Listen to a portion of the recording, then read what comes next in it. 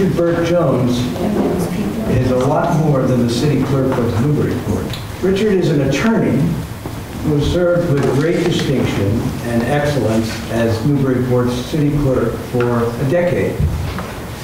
So let me ask you, how many city clerks do you think can paint huge, just uh, three foot by four foot paintings, very, very detailed, of places like historic Newburyport?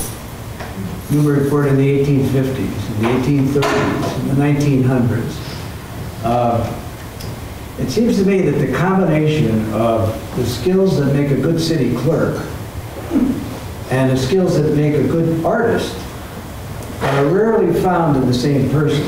They just don't seem to go together in the same human being.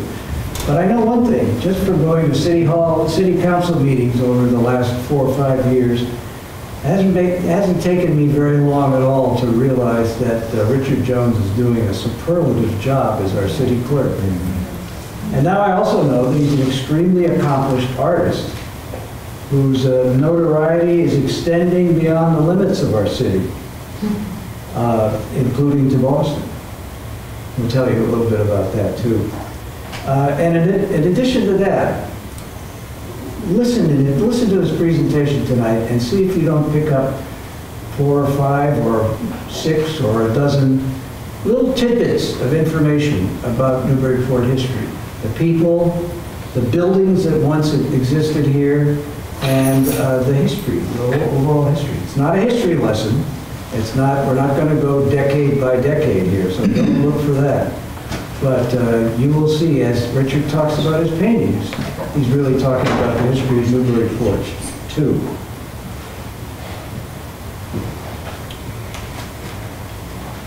So we think you're going to find this highly entertaining and, and informative, probably, too. So let me just introduce the city clerk, attorney, software programmer, amateur historian, and certainly not uh, least, artist, Richard George Jones. You forgot to mention shy. This is why I paint my studio. I wanted to start by telling you about 12 years ago, I was on Green Street painting uh, a painting that's over there in the corner. And I have to make way for my neighbors.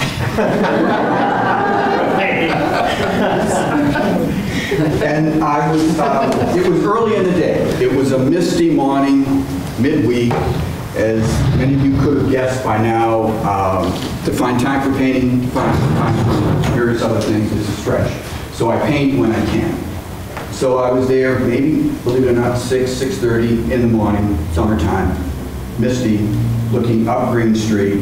I was working on my second painting of Newburyport, which is the harbor view, ships in the front. And I, I love to work from life, so I'm working from the actual buildings on Green Street, and I noticed someone behind me, maybe 10 feet behind, and it was early. And, and he was swaying a little bit, and I think he had been up all night. And I, I got a little nervous, but I said, well, I'll just keep painting. And after about 10 minutes of awkward silence, he broke it. He went, I hate to tell you, buddy, but there ain't no ships out there. That's true story. So, what I, I should say this, if anyone's here for a parking ticket hearing, that's going to be at the city. Um, What I would like to do tonight is uh, sort of um, talk about why I spent uh, majority of my adult life painting these paintings, and to justify it, I guess. So, what's to be gained by going back? Why is, uh, what's community, the steps to the finished painting, and look at some of the paintings. That's sort of an overview. Back to me again. I, I, I've been told that it might be interesting to tell you how I got to this point in my life. I um, was born actually two blocks from here on Prospect Street. And in those days, what did everybody do? It was 1950. They got out of the south end, so we went way to Ward 4, which was off of Ashland Street, like everybody did. And um, I, I, I think when I think back of my childhood growing up and how that's influenced my life, I would get on my bike, and like anyone did in those days, in the 1950s, early 60s, it was really like a Norman Rockwell existence. It was just the way life really should be, right? No one gets on the bike and goes nowadays. My mother raised five of us. My father died when I was 14. And she would say to the middle child of five, once you get on your bike and go, I'll see you supper time. By the way, if you're not here, you don't get fed.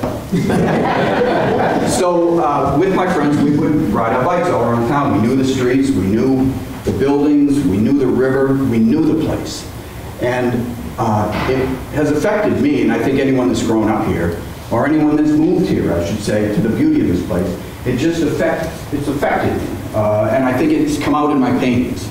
So I'm sort of stumbling around by saying, maybe that's why I had gone back to the paintings, to the roots, to the buildings that I love. So I talked about that. A love affair with a view. So how does it start for me? I, um, I find a view that I can't get out of my head. And the first view that I fell in love with was Unitarian Church. I think we're blessed to have that steeple. It has to be one of the most beautiful steeples in New England. And I think that launched, that steeple launched my career, at least in historic paintings. I'll show it to you in just a little bit. It's right over there.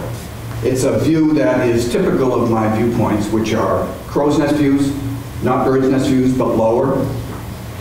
The reason I do that is so that it's a little bit more intimate in the foreground. You can have activity. I think it might be worthwhile if we actually look at the painting at this point.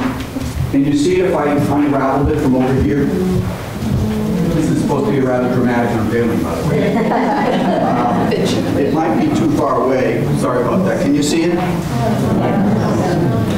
So, uh, the pole's in the way, I know. So, I won't spend too much time over here. Here's um, the Unitarian Church. Here's the Bartlett Steam Mills.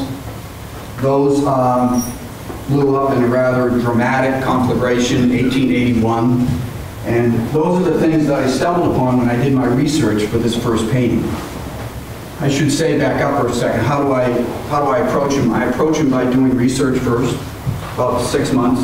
Then I do a drawing, about six months. Then I do the painting, about six months. Takes me about a year to a year and a half to do these paintings. So I'm 66, so does anyone do the math?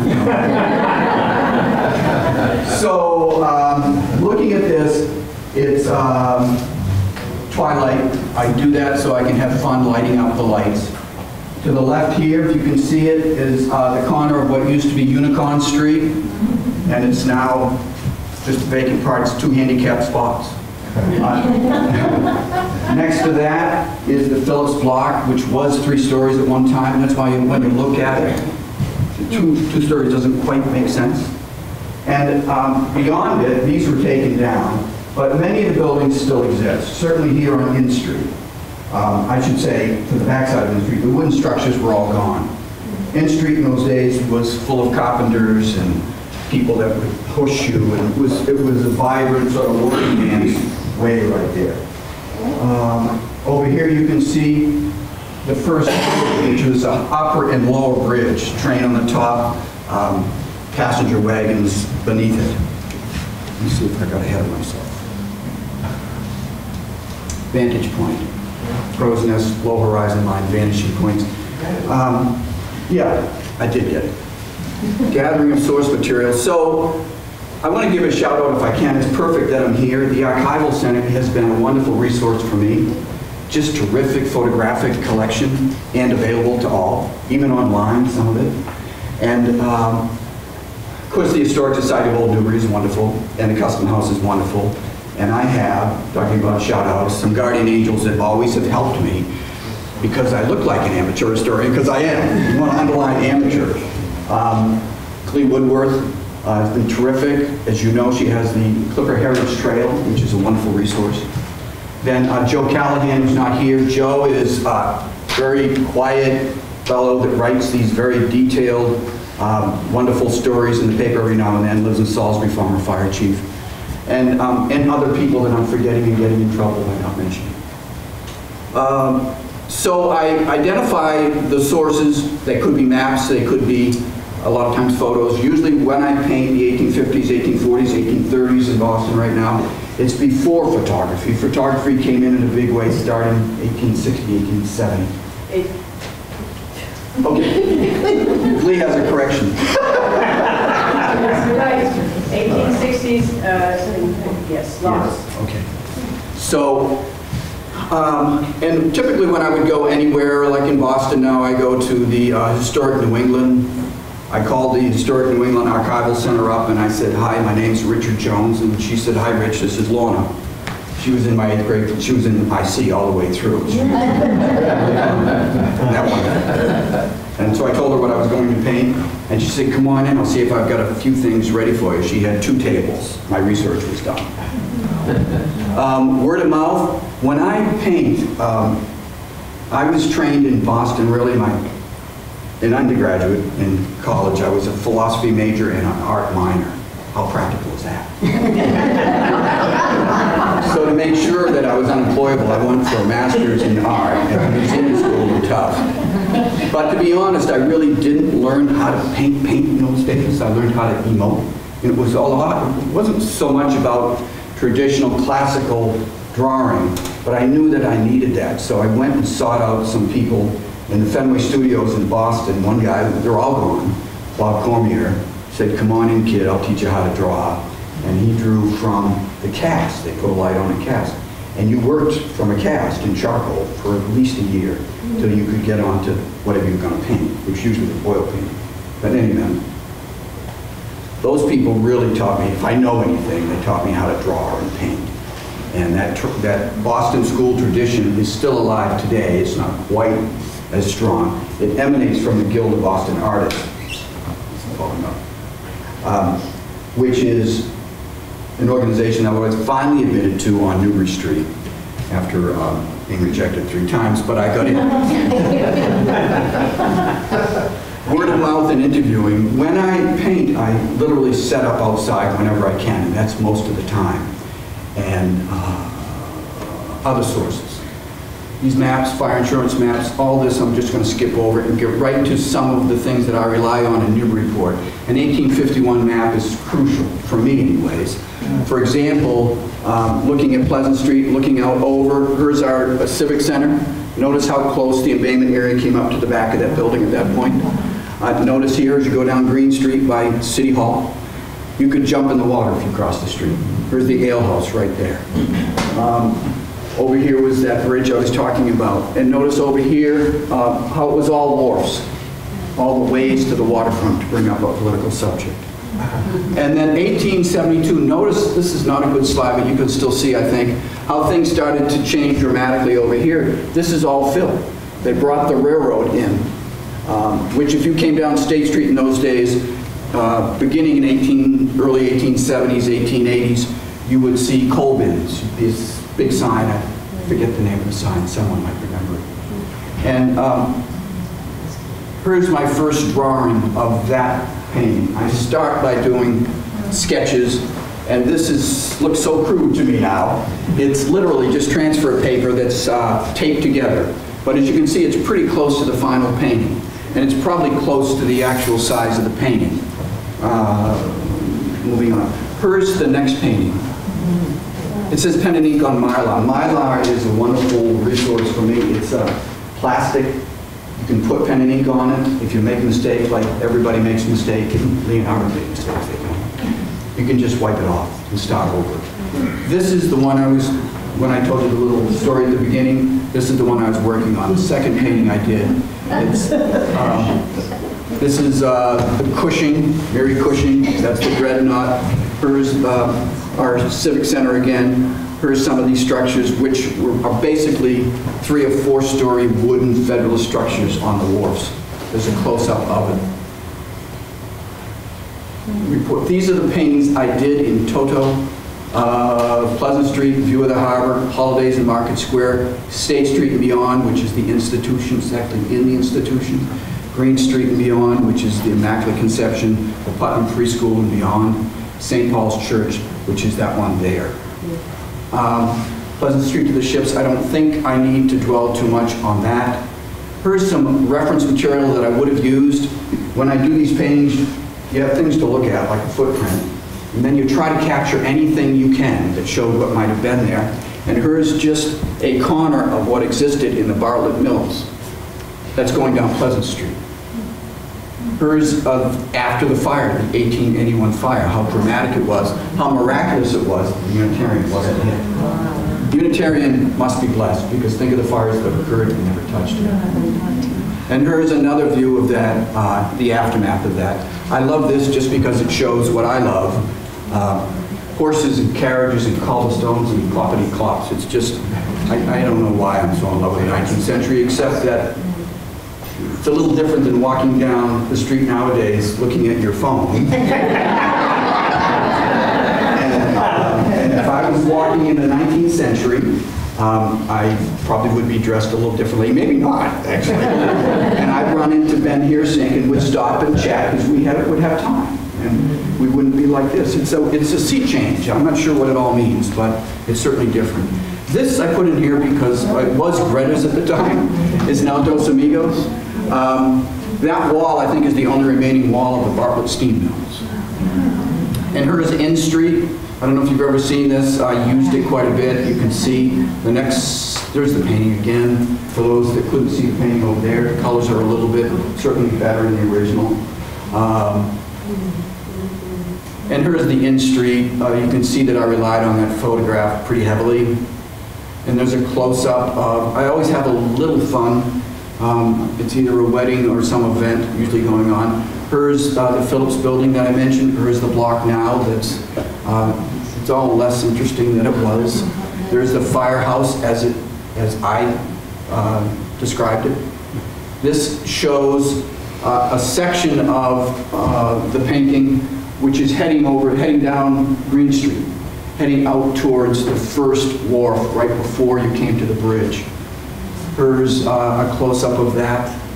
Uh, and there's another close-up of it, probably too many.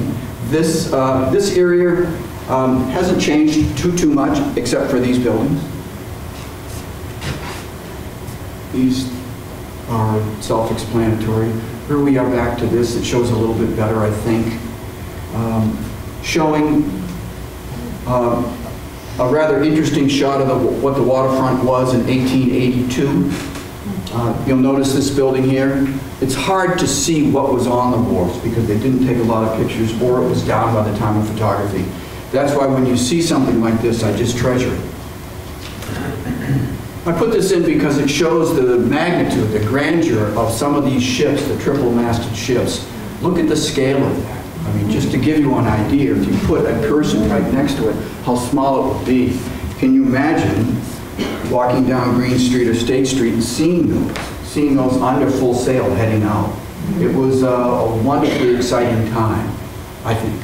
Here's uh, the train that I talked about after the fill occurred in 18 in the early 1870s.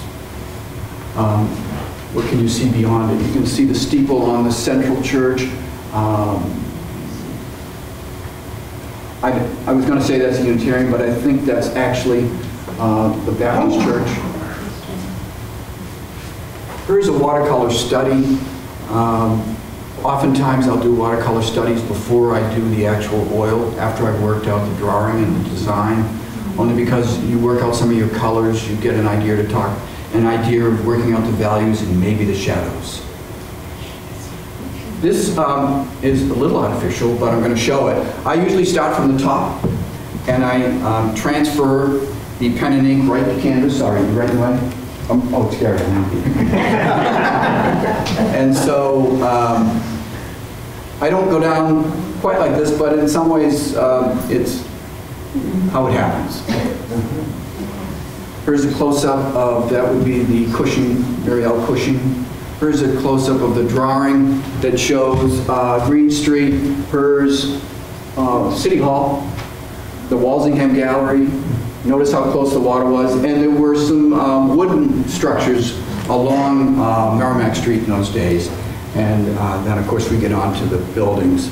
The uh, three-story wooden structures.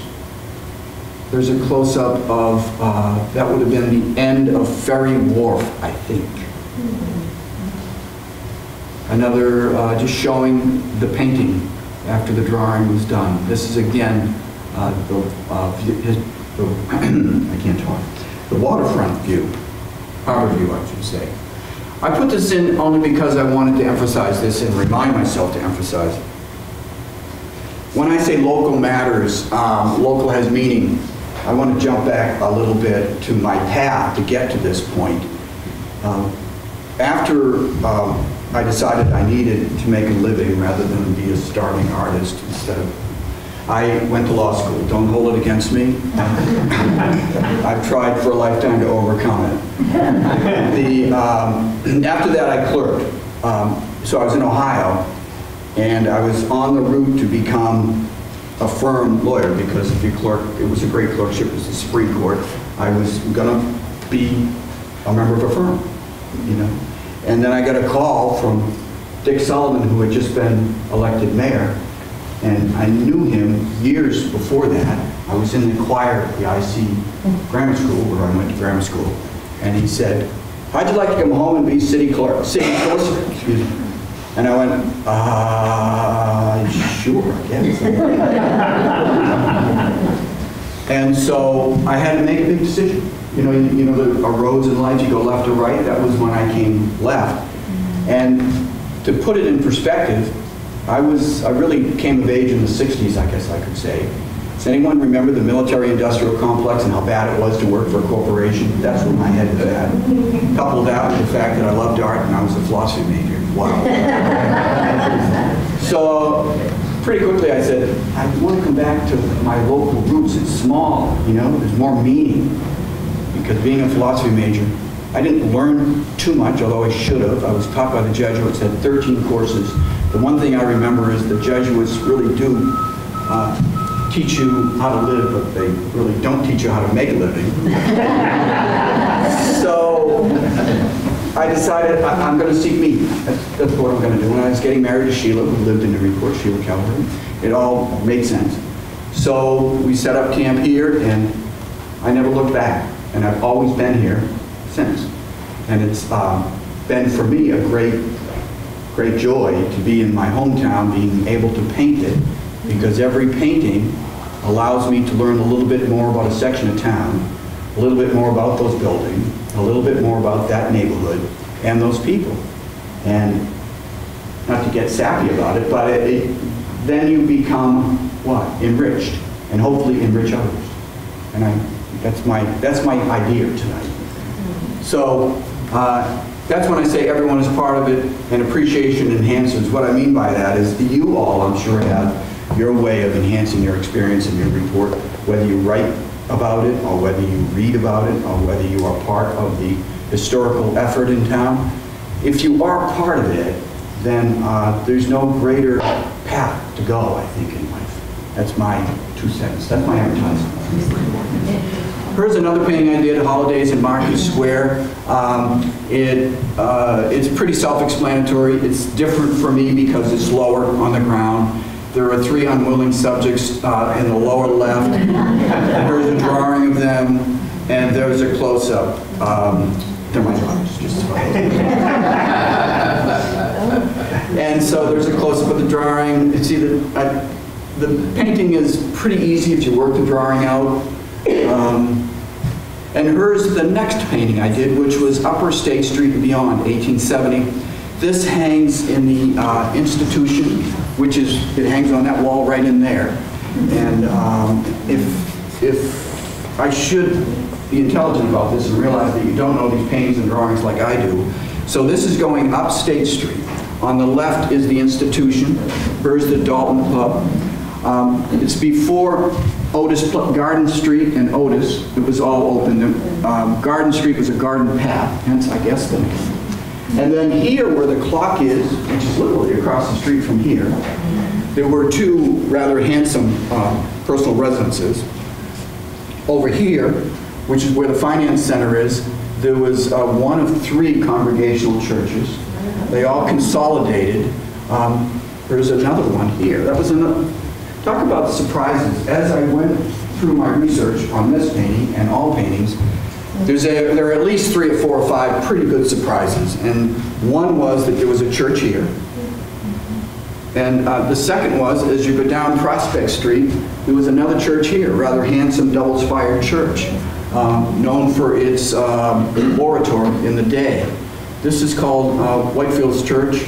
Over there is Old South, not to be confused with Pastor Whitefield, who was uh, a phenomenal orator, I'm told, had something like 15,000 people that would oftentimes come. And then beyond it um, is the Charles Street. I think if we see the painting, it might work better.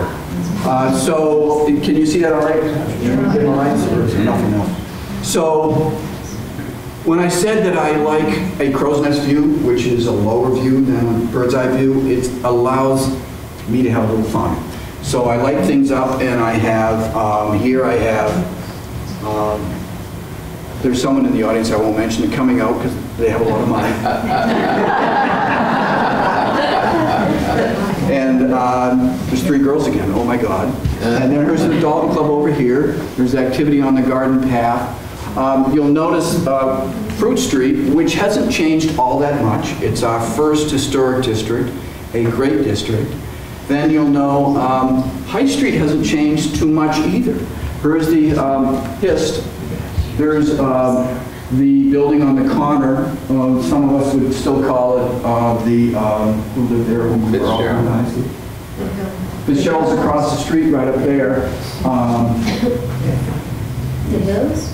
Yes, Fitzgerald's. thank you. Um, But in any event, it was a grand street, it still is. It was uh, a little more open in back. You can see if you really look, the uh, train was coming in along the back. The train would come in along the back. It's now going to be a rail trail. How exciting is that? And it came in, like it shows, all along the water's edge. And then if you stretch your eyes, you can see, you can't. In the original, maybe we can. Um, Sorry, that's not the original. The Original's not here, it's across the street. The uh, bridge going out to uh, Plum Island, which was wooden in those days. What else can I tell you about this? Um, Too many things. I think we'll move on. There's a wedding going on. There's, um, where is he? Oh, yeah. There's this fellow. I always put somebody running away from the wedding because he's been I didn't get our email for that one. Okay. What next? There's a close-up of it. Um, I guess, I guess I should um, make the statement that sometimes it's hard to talk about a visual painting. A painting, I believe, should speak for itself, but um, it's still fun to talk about it. So uh, here's a close-up. There's a wedding going on. There's a little music, uh, lighting taking effect. Um, Here's uh, the next painting, which would have been Upper Green Street and beyond. Um, Notice a couple of things, such as the spire on the IC Church. Um, I was painting this painting right here one day on Green Street, and a woman came up and said, "You're standing right where that steeple fell." Uh, I think it caught on fire in 1848, am I right? 19. Oh, I keep saying that, 1948. I'm not that old. Um, Next to it is a Putnam Free School, which also burned. It's a handsome... Was it? Thank you, Saul. He's a- another historian, I should mention. And uh, this was a handsome structure. The, um, we used to call it the convent, now the uh, parish center, is a rather handsome building. The reason it is, is it emulated the Putnam Free School. And then beyond it, there was, um, is there someone here, did Byron, who, who took care of this with flowers for years? Maybe he's not here. Um, That was a really unique horse trough uh, with a horse in it. And then there's the Kelly School. Um, I should say at this point, the Kelly School, which is being brought back, be interesting to watch. That was um, the architect, whose name is Rufus Sargent, thank you. Kelly School, the Institution for Savings, and St. Anne's Chapel that I'm going to show you in a minute. Rufus Sargent was a wonderful architect, and we're blessed to have his work. Um, Part of the reason I did the institution painting was that initially I just fell in love with that brownstone. I don't know who wouldn't. Um, If you look closely at the painting, of um, the institution, you'll see what I discovered, that the facade changed a a number of years after it was built. It was built in 1872, 1871. And the unfortunate thing for me was I realized that after I had drawn it in and painted it in, but I did, I did change it when I realized. And then over here, uh, where the IC Grammar School is, was uh, a beautiful Federalist owned by Theophilus Parsons, who uh, had a very well-known apprentice named uh, uh, John Quincy Adams. So I've often thought how ironic it is. He was probably here 200 years before I was in that grade. What else? Uh, Interesting um, parish building right there. That was also the uh, first female academy, am I right? In America. In America, that building right here. It's awful, you know, my mind's going, I, I- I painted these paintings and then I forget what I painted. So, and beyond it is the, uh, is the railroad coming in, and uh, you can see how open it was in those days. Oh, sorry, this is just a close-up. And hers, um, St. Paul's, 1800, the wooden structure. Next to it is Rufus Sargent's St. Anna's uh, Chapel. We were talking about this earlier today. That was built in 1800.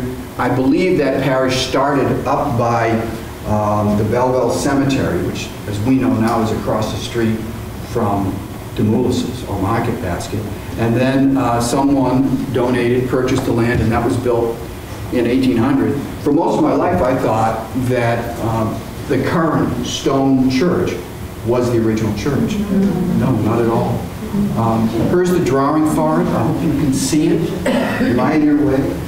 Um, The drawing, again, in typical fashion, why don't I bring one of the drawings out? I brought them. I have it right here. Okay, so if I stand over here, I can be in the way. So here, um, I spent a lot of time on the drawing. I've learned over the years that the more time I put into the drawing, theoretically, the better the painting is. So I I get a little bit obsessive with the bricks and the cobblestones, and, which in those days were essentially crosswalks.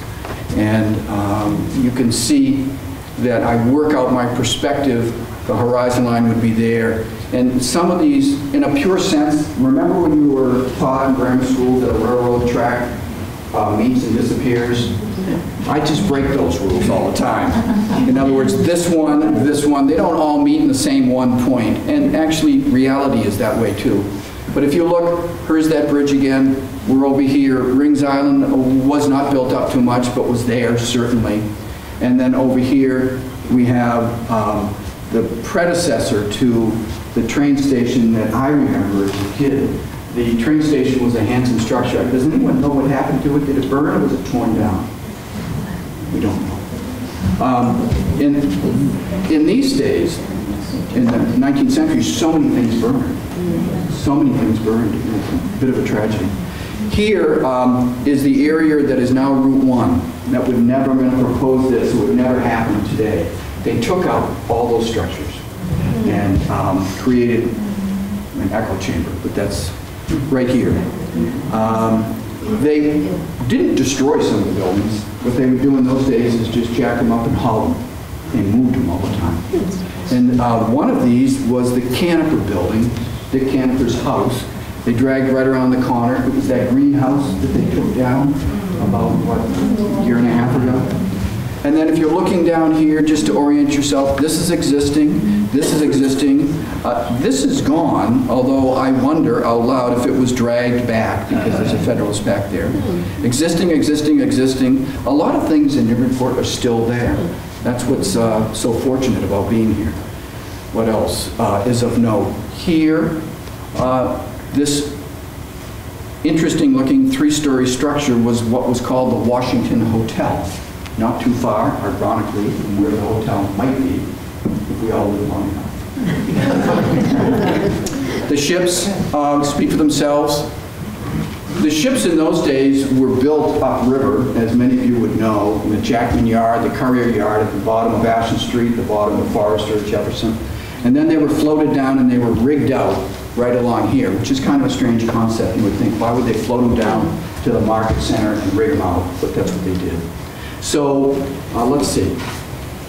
So how about if we, I brought the original, how about if we show it? I'll try and show it, I'm so good at this stuff now. Um, I also have two other drawings that I'll just turn around.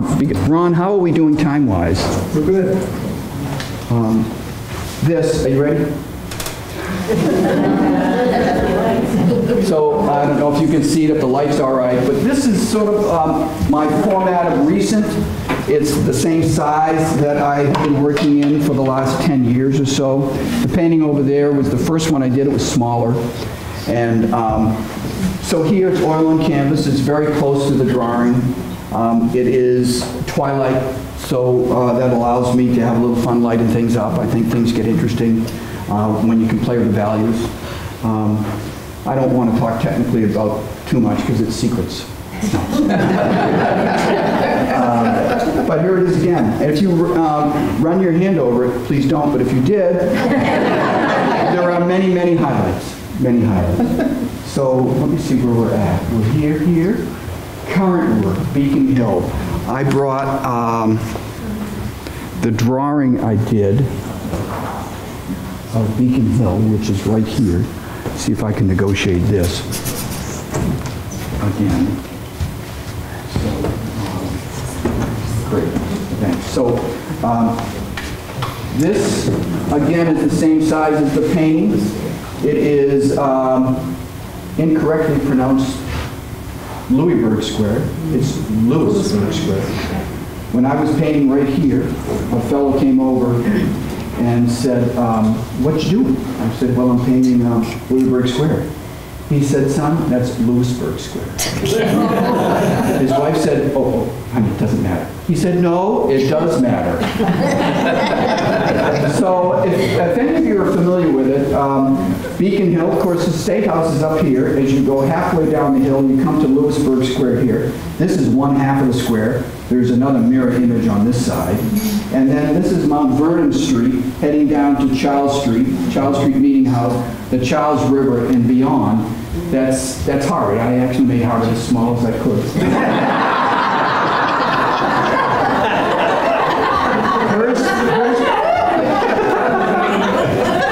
Pinckney Street. This would be uh, predecessor to the Longfellow Bridge, which actually is over here. And um, these were built out in the 1840s. Uh, This literally was laid out in 1799. And they haven't changed too much. In fact, if you tried to change it, you'd be assassinated. What else can I tell you? I guess we can probably put it down. Then, um, I think I've got a slide of the painting. And Mount Vernon Street, Pickney Street, is it here? There, there's, uh, the pen and ink. There's the painting, I hope it reads all right. A little, the slides, I'm gonna suggest you don't do it justice. Then, uh, you can see, yeah, that's better, thank you. So, uh, there, there it is, uh, finished.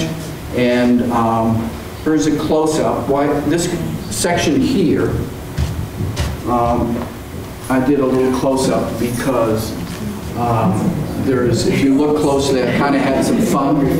There's a- a a cello player in that window, a pianist in that window, and a violinist there. Can anyone add up three again? Uh, There's another close-up going down Mount Vernon Street. Um, I just like, uh, it's that certain color scheme, which is what you do, rather than just go crazy with the colors. I don't know if we need to show this, but it's a view from South Tower. I did that in Nantucket. There's another Nantucket painting. Uh, These are two watercolor studies I just did, looking down Pickney Street. That's going to be my next view. So if you can imagine Louisburg Square on the side I was on, if you march down the square, if you were, if you had enough gumption to march down the square because it's all private, and you got to the other end, and you backed up just a little bit, and you looked down Pickney Street the way I was looking down on Vernon Street, which is just the view I want, except that John Kerry's front door is right where I am. So, um, just one of those coincidences.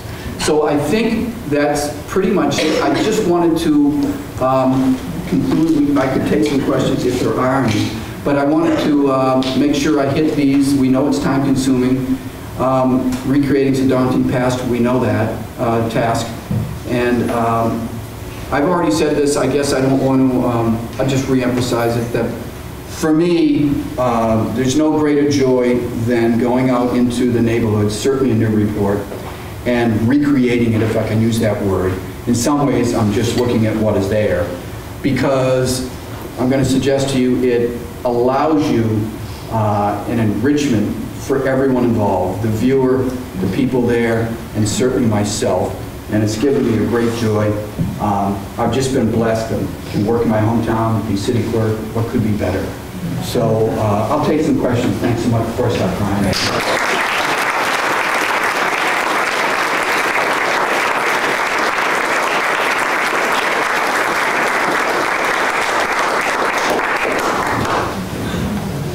Um, Yes. Are you going to start painting Chappaquiddick? Or are going to rename some of? They're going to rename some of them. I, um, I was thinking that the phone booth that was put up for that movie, uh, where I was standing when I painted the painting. Um, Yes, Is there uh, anything you put in your painting that, uh, other than your signature, that would, you would immediately be able to say, oh, yeah, that was Richard? other than, other than my daughters? Uh, I I don't know anyone crazy enough to be painting this style anymore. There, there are a couple of people, that- oh, John Stobart, who was a wonderful, but he's a marine painter. He painted ships and showed a little bit of the buildings. And I'm sort of coming at it from the angle that I just love the community and the buildings and the people. And it just so happens that in the 19th century, if I can show some sails in the water, for me, it's a little more exciting, and I think visually in a painting, it becomes a little more interesting. Any other questions that would allow me to talk about myself? Any girls in your, your town? Well, um, I have three daughters, Elizabeth, Helen, and Julia. Helen, the middle child, is a better draftsman than I ever was, really. I mean, she's just gifted. And I, um, I uh, have not done anything to try to destroy that. You know, since she was a little girl, she'd be in and out of the studio, and I think they pick up certain things. They, they want, she wants to paint exactly the opposite the way I paint. Yes? Thank you for taking care of that parking ticket. I meant to tell you another one. No, I'm kidding you. My, my real question is, um, have you ever done Joppa? I know you do the grand views. Well, Joppa, I think I've done the grand view. I did a painting I, I should have shown from um, the, um, my brain's going, from the, what's the area, uh, along? Hmm? Well, close to it. You know, uh, as you go along the wall, seawall. Yes. Seawall looking out uh, at sunset. It's a gorgeous view because you catch the edge of the American Yacht Club. I've done that. And I've done also a view similar. These are from the ground, these are oils, these are pretty big, from Rings Island looking over. Where can one see them? I don't, I don't, uh, they're in, they're in somebody's home, basically. Other paintings that you can see besides that one is the one at the institution. And that one hangs uh, in City Hall. I can tell you how that happened. I, I sold it through a gallery, the Walsingham Gallery at the bottom of uh, Green Street. And a fellow came along, I- the funny part of it is I, I didn't really know what to price it, to be quite blunt. And uh, so I came in and I said to the gallery director, what do you think? And he, so he put a price on it. And I put it down and I went back. And he called and said, it's gone. I said, come on, really? Which is seller's regret, right? So the fellow that bought it was a fellow by the name, I guess I can use his name, was Drew Lewis. Does anyone remember that name? And he was quite wealthy.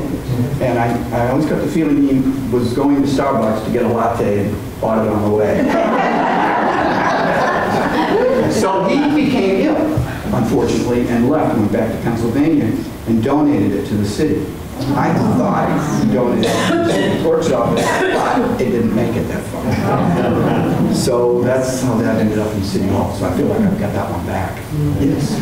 Um, Drew Lewis lived on the other side of my house, and I would love it if you would do a painting that would include my house, the jail, county school, and St. Paul's, because that was from the perspective of, from the perspective of the frog pond. Because then you have the frog pond, that beautiful statue that you were talking about. Isn't that wonderful? Are they going to bring that back? I heard they were. I I don't know about that. The developer of the But case. it wasn't Drew that got sick either, it was his wife.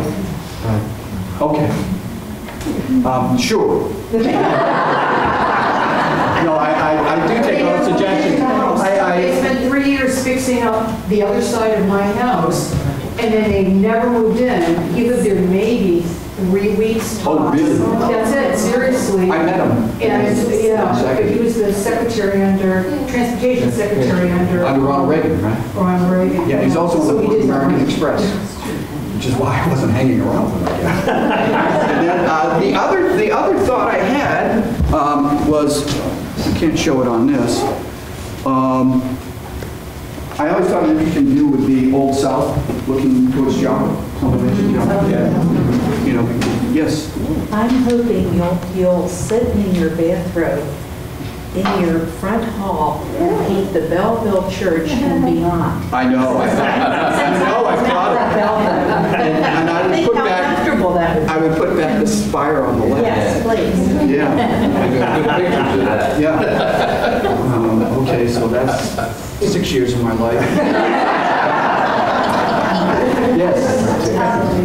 In here, there's portraits.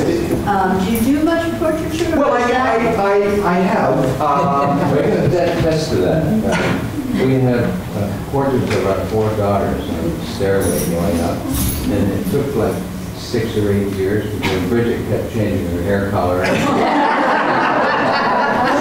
Bridget is very patient. Stairway to heaven. yeah, I, uh, the, some of the people I trained with were portrait painters, and um, I love portraits. It's, um, I love buildings. Buildings don't talk back. But, uh, no, they're fun. I did a couple last year of, uh, some people around town. Uh, Yeah, Richie. Yeah, I know this. Any other questions? Um, That would make me look good? Are you represented by a gallery You know, I'm, I'm not. I used to have um, some representation, and I used to hang my stuff at the Guild in Boston on Newbury Street, and I worked so hard to get in that organization. They used to say it was more difficult to get in that than the U.S. Senate. Um, and- But because I do essentially, except for my watercolor studies, I do one painting a year, a year and a half. It's not enough to supply anybody. Plus, I get 50%. Um, I know I'm forgetting some other things. So I would like to end on this note. Um, Besides learning how to say Lewisburg Square, I also learned something very important. I know how to say Ron Ziemba, Yeah. who has been wonderful, and he's so understated, and I would not be standing here today without him, and he paved the way. I don't know if you heard me yesterday morning on WNBP, he set that up. He's a wonderful resource, and I, I know I speak for many of us that have mentioned, been in town all of four years, and done so much. Thank you, Ron, very much.